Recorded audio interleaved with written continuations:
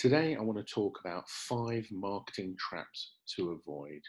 Um, there are five standard operating procedures we all fall into in marketing, and they make life really difficult. They're unavoidable mostly. Most of the time, when I explain these to people, they don't even uh, know about them, they're not aware of them. Um, and so they creep up on you. Uh, they happen to the best of us. So I don't want you to beat yourselves up about it. It's not a judgment issue. Uh, you shouldn't feel bad about it. But uh, these are five ways you can massively um, take action right now uh, to dramatically change the way your marketing functions in your business. And ultimately, that's money you're spending, that's time you're spending. And if you're not getting an optimal result, or if you could be getting a better result, then uh, it, uh, it's a good thing to know about it and it's a good thing to take some action. So I'm going to tell you the five standard operating procedures make it hard and uh, I'll give you a quick tip to get through it as well. And what I'd love to know is which of these five uh, really uh, caught you out, which one of them has scuppered your marketing when you look back over time. Um, I'd love to know, I'd love to hear which one resonated most with you. So please do me the favor, let me know um, which one of these five standard operating procedures uh, did you fall foul of. So the first one, the first standard operating procedure, is that you have no marketing at all. Now this one's really obvious, but we say that. However, most of the time people are too busy. Um, people tend to prioritize sales over marketing. People tend to prioritize almost everything else over marketing, to be honest.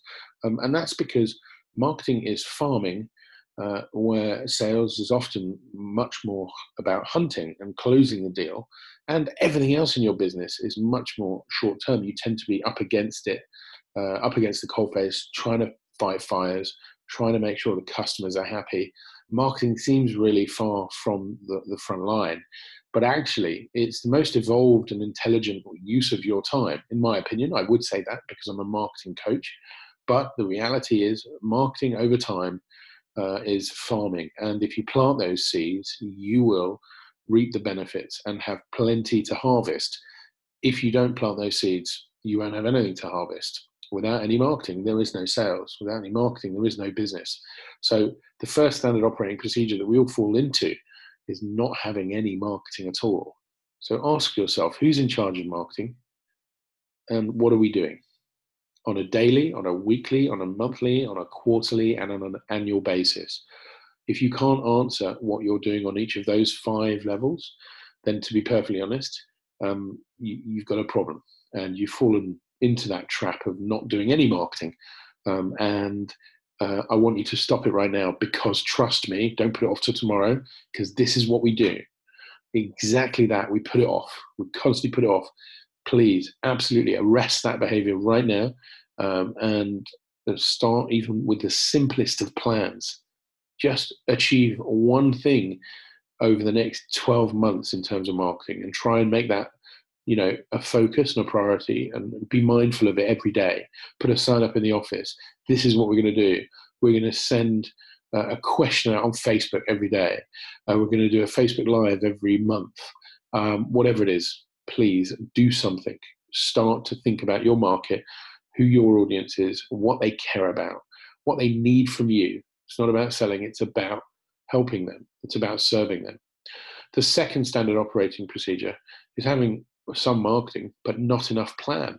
So your marketing is very uh, reactive as opposed to proactive.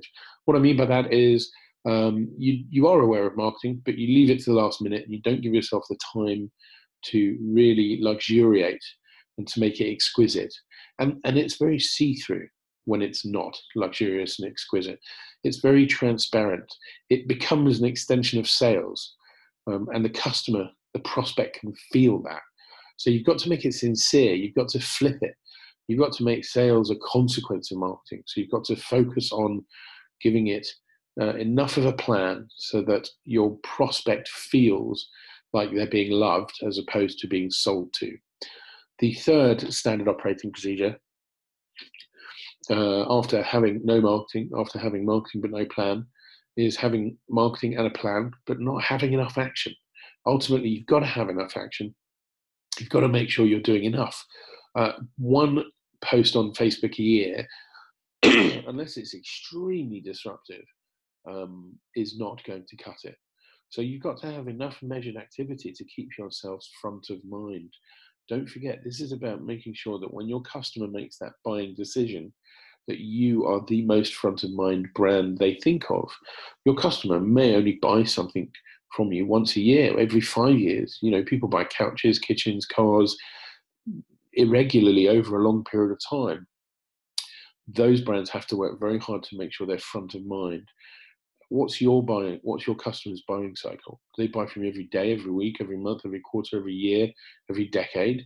Well you need to take action to make sure that you are uh, as visible to them as you need to be to win that business. I don't mind if you don't do it. It's not my bottom line it's not my revenue. But my advice to you is have a plan absolutely but make sure it's got enough action in it to make it worthwhile and effective. The fourth standard operating procedure we often fall foul uh, of is that we have a plan, uh, we have action, um, but we have no out positioning. Uh, what do we mean here? Well, you can either out position or you can outspend your competition. For me, I'd rather out position people. I'd rather be more interesting uh, so as to capture people's imagination and attention uh, I'd love to be aspirational so that I don't have to uh, just be purely operational, so that I can inspire people to come towards me because they know they're going to get incredible service, value, results, outcomes, whatever it is. I want to make sure I'm out positioning my competition because if I'm not uh, if I'm not out positioning my competition, I'm going to have to outspend them.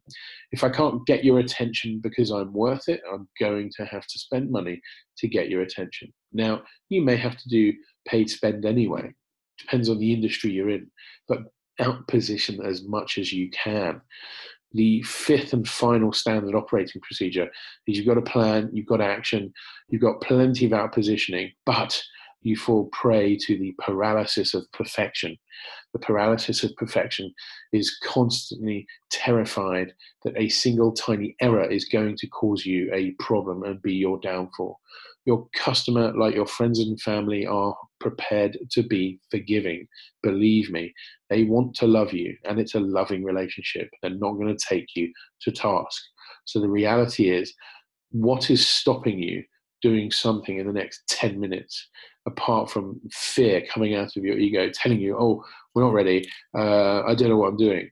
Now, before I talk about having a plan, absolutely, you've got to have a plan, but also don't let the fear of not being structured enough, not being prepared enough, prevent you from delivering your marketing. So make sure you have marketing, make sure you have a plan, make sure you have plenty of action, Make sure you have plenty about positioning. And for the love of God, do not let the paralysis of perfection slow you down. My name is Al Tepper. Thanks for watching. Uh, I run TepFu. Uh, we offer a fantastic free webinar. The link's coming up in a second. And we also offering uh, we also offer marketing mentoring, uh, a marketing masterclass, and on top of that, a marketing mastermind for the really brave amongst you. Uh, outside of all of that, of course, we offer marketing consultancy as well. So if you have any needs, feel free to get in touch. But, but the best news for you is there's a fantastic freebie. If you go to webinar.tepfu.com, that's webinar.tepfu.com. We have a free webinar every couple of weeks. It's an hour long. And if you think this has been valuable, wait till you get a load of that. We turn marketing into marketing.